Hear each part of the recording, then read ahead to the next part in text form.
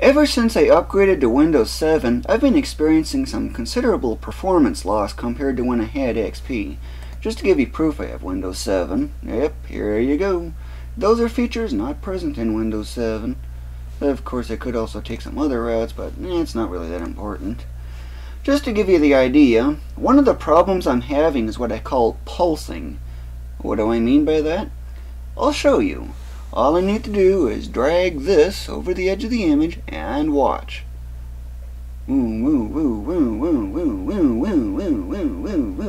Ever noticed it's going about twice as fast all of a sudden? And then it's really slow for some time? Crank up the speed and you can still see the pulsing just as well.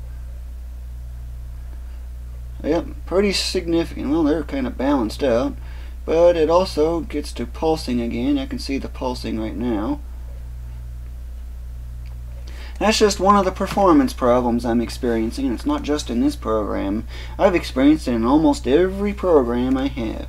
Just to give you an idea, here's something that's got some ridiculous contrast, just so you could see it better. Same thing. Drag it over the edge of the image. Whoa, whoa, whoa, whoa, whoa, whoa, whoa, whoa. Really sudden there. It's pretty obvious that pulsing. That's what I mean by pulsing. So, what's going on? I have absolutely no idea.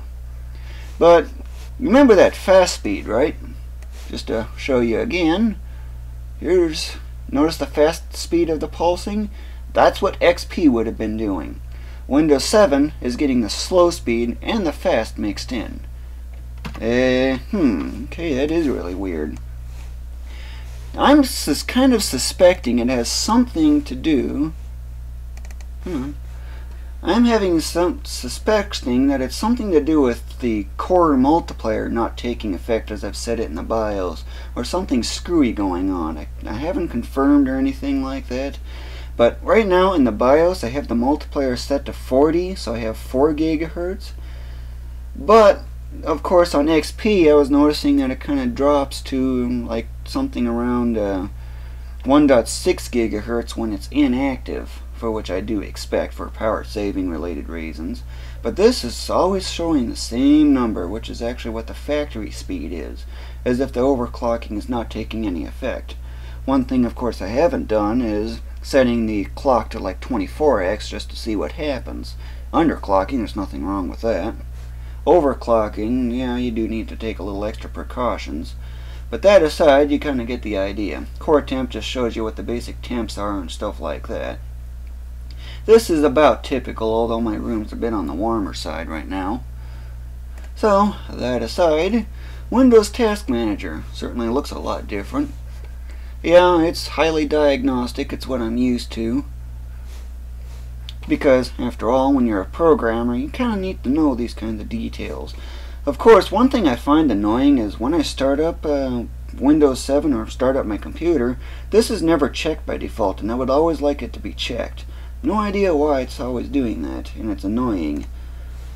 And of course, this is one feature I like about Windows 7, the Resource Monitor.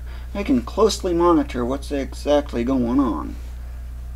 And just so you know how my memory usage is, yeah, it's around, typically this is about how much I have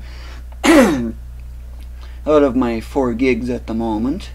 But that's because I'm also working on other things in the background, namely this for example. I'm working on the grass for Platform Masters, so yeah, that does end up consuming a fair amount of memory, but close this and yeah, I have about 2 gigs available. So it's not really memory that's a problem, or hard faults, just to show you this. There's no hard faults at all.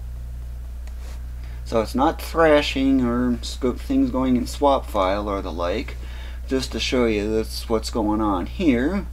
Of course, this I'm expecting to be high because, well, uh, I'm recording video. Disk usage I'm expecting to be high because, well, I'm uh, recording video. And of course, network. You kind of get the general idea here. So, that's basically how that all works out on how I have things. So, you're probably also wondering what else has been going on with Windows 7 and the like.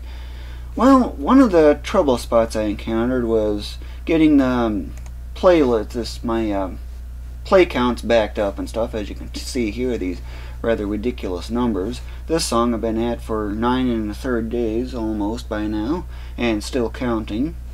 Yeah, and same song and same speed, still going.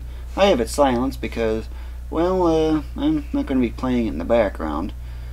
So what else is there? Well, the biggest problem I encountered was that my motherboard driver's disk was unreadable, so I had to go by and download the drivers, but I couldn't do that because my networking driver's on that disk, and without that networking driver, there's no internet, so I can't download it. That was the worst part of the Windows 7 install. All of my, all I do is I just pop the disk in the drive and it just attempts to read it and read it and read it and eventually gives up as if there's no disk in there. And there's clearly a disk in there. So, well, that's mainly the problem. But sometimes I did actually get it to be readable. I checked the disk. There's no scratches or dirt or anything. I tried cleaning it. Nothing worked. So, that was the root of the cause of all my troubles in Windows 7. Another annoyance that I had with Windows 7, notice how this Firefox window is way apart from the other ones. I absolutely hated that feature in XP. And Windows 7, you can't disable it without having to get a plug-in, as hinted at by this. And another reason I'm noticing here is this should be visible, but it's not. Just to show you what I mean, uh, let's see. Only show notifications. Why did that change on me? For some reason, this is always changing on me, and I have absolutely no idea why. Because, yeah, I used to always have this on XP. It just shows me another idea on what's going on with my CPU usage, in addition to this. Yeah, this one's also the CPU usage. So, other than that, that's pretty much about the main stuff.